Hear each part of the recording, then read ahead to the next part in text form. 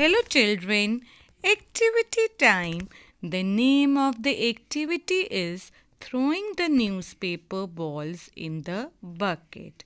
For this we need a newspaper.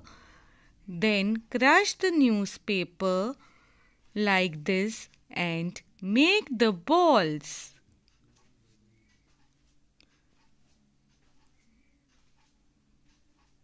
Now Mummy will keep the balls and bucket on the floor. Now you have to throw the newspaper balls in the bucket like this. Let's start.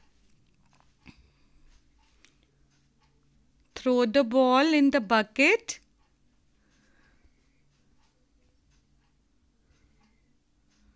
Good. Again throw. Very good.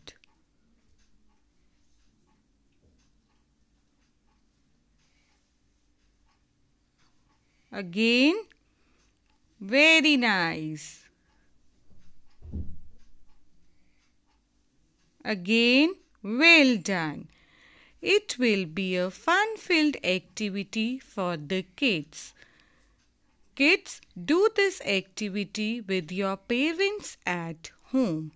The objectives of this activity are to develop their gross motor skills and enhance their eye-hand coordination.